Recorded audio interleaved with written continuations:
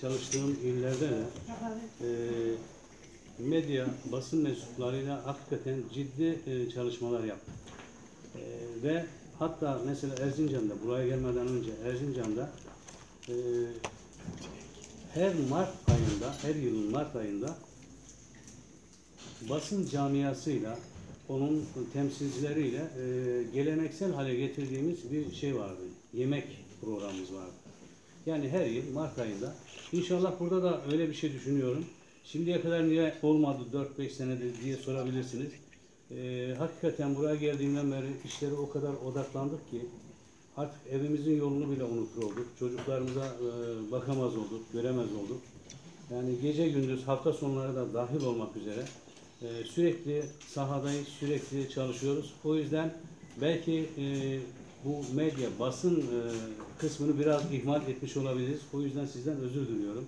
İnşallah bundan sonra e, mesela bir Mart ayında daha kapsamlı, güzel bir ortamda e, yine ilimizde 2018 yılında yapmış olduğumuz tarım ve hayvancılıkla ilgili e, her türlü icraatın e, bilgisini size aktarabiliriz. Şimdi tabii biliyorsunuz ilimiz e, ekonomisi tarım, hayvancılık, yanında turizm, son zamanlarda gelişmekte olan sanayi ile birlikte e, bir e, yol almış durumda. Ama biz istiyoruz ki tarımsal ve hayvansal faaliyetleri e, çok daha düzenli bir hale getirelim. E, bu işle uğraşan insanların gelirlerini çok daha yükseklere taşıyalım. Bununla birlikte tabii ki e, bu işle uğraşan yaklaşık 180 bin çiftçimiz var. Bu 180 bin çiftçinin gelirini biz üst seviyelere taşırsak dolaylı olarak hepimiz de bu işten istifade edeceğiz anlamına gelir. Yani bundan esnafı da e, sizler de bizler de herkes istifade edecek anlamına gelir. E, peki bunu nasıl yapacağız? Yani bu çiftçiliği, tarımsal faaliyetleri, hayvancılığı, su ürünlerini nasıl geliştireceğiz? Tabii ki bir takım projeler yapmamız lazım. Bakanlığımızın direkt vermiş olduğu projeler var. Yerelde bizim özel idare bütçeli yapmış olduğumuz projeler var. Hatta bütçesi olmadan yapmış olduğumuz projeler var. İnşallah biraz sonra size kısaca bir sunum e, yapacağım. Orada daha iyi anlaşılacaktır bu. Ama biz tarım ve hayvancılıkta mutlaka ve mutlaka e, ihracatın önünü açmamız gerekiyor. Buna dayalı olarak yine tarım ve hayvancılıkta e, sanayi geliştirmemiz lazım. Yani tarımsal sanayi bir gelişmesi lazım bu ülkede, bu ilde. Eğer ki biz bu sanayi geliştirirsek, dediğim gibi e, burası Çanakkale'miz ihracat üssü olmaması için hiçbir neden yok. Yani şöyle baktığımız zaman ben 5 yıldır buradayım. İlk geldiğim zaman zaten o eksikliği hissetmiştim. İhracatın neden olmadığını araştırdık. Aylarca araştırdık. Neticede bununla ilgili çalışmalar yaptık. Biraz sonra sunumda da var. Onu daha detaylı sizlere aktaracağım. Velhasıl biz burada el birliği yaparak ki yani ticaretin, çiftçiliğin asla ve asla ben ona inanmıyorum. Sağ solu orası burası kesinlikle yoktur. E, Yani alın terinin hiçbir zaman e, bir siyasi görüşü veya dini bir şey olamaz.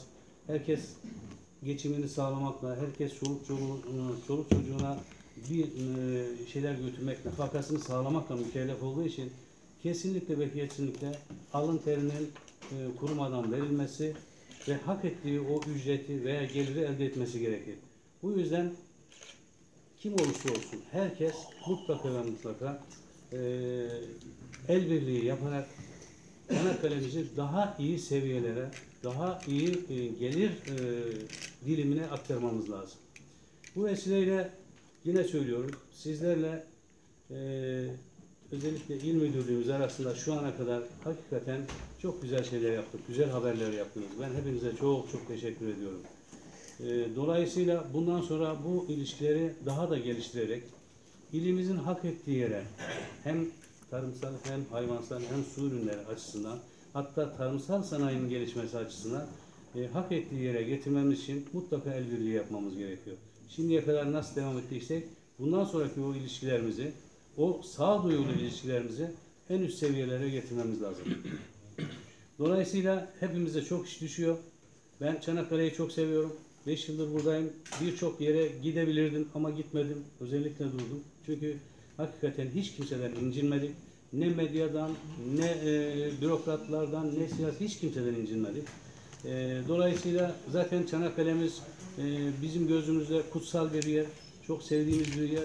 E, burada da görev yap- yapmaktan hakikaten gurur ve onur duyuyorum. Evet, e, dediğim gibi inşallah bundan sonra çok daha güzel e, şeylere imza atacağımıza ben eminim. Ben eğer dilerseniz şöyle biz e, Tarım İl Müdürlüğü olarak son birkaç yıl içerisinde neler yaptık? Ben küçük bir sunum yapmak istiyorum. Birçok işimizin yanında eğitim faaliyetleri de olmazlarımızdan bir tanesi. Biz eğitime son iki yılda yani 2018 ve bu senede devam edeceğiz inşallah. Farklı bir boyut getirdik. E, her seferinde biz daha önceleri ya bayanlara sadece eğitim veriyorduk ya da erkeklere eğitim veriyorduk. Vurucu noktalar e, hem soru e, anında hem de sorudan sonra e, cevapları verirken e, 2-3 defa üzerinden geçtiğimiz için ciddi anlamda kalıcı oluyor ve geri dönüşlerde bile bir o kadar güzel olduğunu gördük. Eğitim, seminer, e, toplantı, e, tarla günü bütün kategorilerde 26 bin kişiyle biz sıcak temas kurmuşuz. İki av araçlarının tabii çevreci bir yönümüz de var. E, av araçlarının temizlenmesiyle ilgili e, proje yaptık. 3 senedir devam etti. 2016, 17 ve 18 yıllarında. E, toplamda adaların çevresi Boğaz, Ege Denizi ve Biga'da bu sene de Biga'da olmak üzere toplamda e, 18 bin metrekarelik bir e, hayalet ağ denizden çıkardık. Bu da geçen haberlerde de söylemiştik 20 futbol sahasına eş gelecek, denk gelecek bir büyüklükte böyle denizin dibinde kalan ve denizin biyolojisini bozan, hayvanların e, oradaki balıkların üremesine, biyolojisine e, negatif yönde etki eden bu ağları temizledik. Eğer ki e, bir iki yerde daha talep var, eğer ki bir bütçe oluşturursak inşallah bu sene onları da e, bertaraf edeceğiz. Sadece Çanakkale ilimizde Arlı Kovan Dağıtım Projesi'ni 2018 yılında gerçekleştirdik. Toplamda 5750 adet Arlı Kovan'ı e, karşılığında da 2 milyon 400 bin TL bakanlığımız onaylı bir projeyi. Sadece Türkiye'de var, başka yerde yok. E, 400 aracımıza biz burada dağıttık. Aracımızın şöyle ortada kalmış. Arıcılık yapsam mı, yapmasam mı gibi düşünenleri biraz motive etmek için, arıcılığı daha da geliştirebilmek için, sürdürülebilir bir arıcılığı e, oluşturabilmek için böyle bir proje yaptık. E, ve çok da başarılı oldu. 2018 yılında bitirdik. Şu anda 400 arıcımız 15 ile 20 kovan arasında e, arılı kovan alarak e, belki ellerinde de 15-20 kovan olanı yani 30 kovan altında arısı olanlara verdik. 30 kovan üzerinde olanlara vermedik zaten. Şu anda bütün 3 yıldan beri biz bu projenin üzerinde çalışıyoruz. Bütün altyapı çalışmalarını bitirdik. Ee, sadece bakanlığımızın e, işte bir ilgili resmi gazetede veya ilgili bir kanun çerçevesinde e, olurunu alması bekleniyor. E, yani bütün kriterler falan hepsini bitirdik. İnşallah Gökçeada'mızı e, organik ada ilan edeceğiz ve ben öyle inanıyorum ki bir 10 sene sonra Gökçeada'ya dünyanın her yerinden 3 ay önceden, 6 ay önceden rezervasyon yapıp sırf oraya gelip o organik adayı bir solumak, orada gezmek, e, o toprağına temas etmek için insanlar olacak. Bak e, biz Çanakkale olarak hani demin tarımsal sanayi dedim ya, tarımsal sanayiyi biz geliştirebilmemiz için bu şekilde bir altyapıya ihtiyacımız vardı.